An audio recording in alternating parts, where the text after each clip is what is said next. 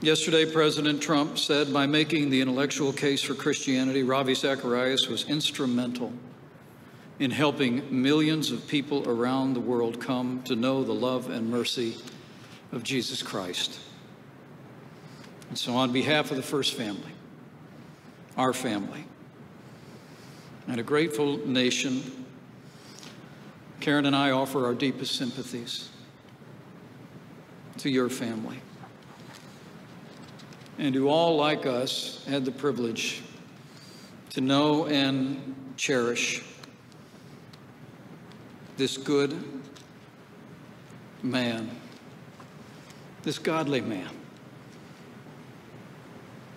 this man for all seasons. Ravi Zacharias' story has been an inspiration to millions of people. On a bed of suicide at 17, void of meaning, emptied of hope, he opened a Bible. And he read the words that are now displayed on the wall outside this church. Because I live, you shall live also. And lying on that hospital bed, he opened his heart and his life to Jesus Christ, vowed to leave no stone unturned in his pursuit of the truth. And that he surely did. In the late Reverend Billy Graham, it's been observed that God gave us the greatest evangelist of the 20th century. In Ravi Zacharias, God gave us the greatest Christian apologist of this century.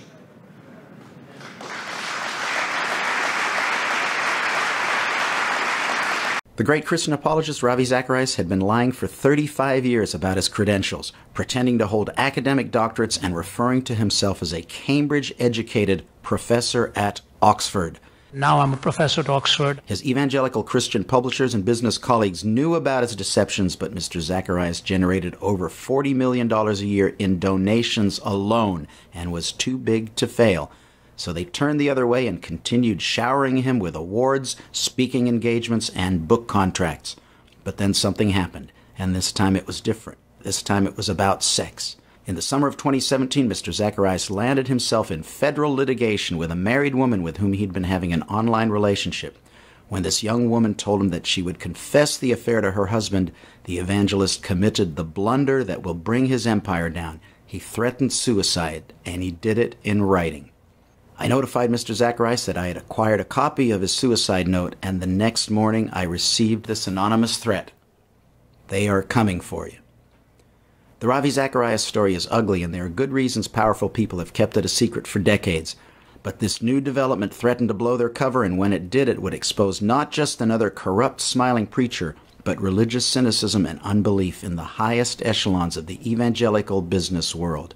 This book blows that cover. Based on three years of research by attorney Steve Baughman, that's me, and meticulously documented with communications from Cambridge and Oxford, Zacharias' own press releases, excerpts from the federal lawsuit, and more, Cover Up in the Kingdom presents all who care about integrity and Christian apologetics with evidence that demands a verdict. Not available at your local Christian bookstore.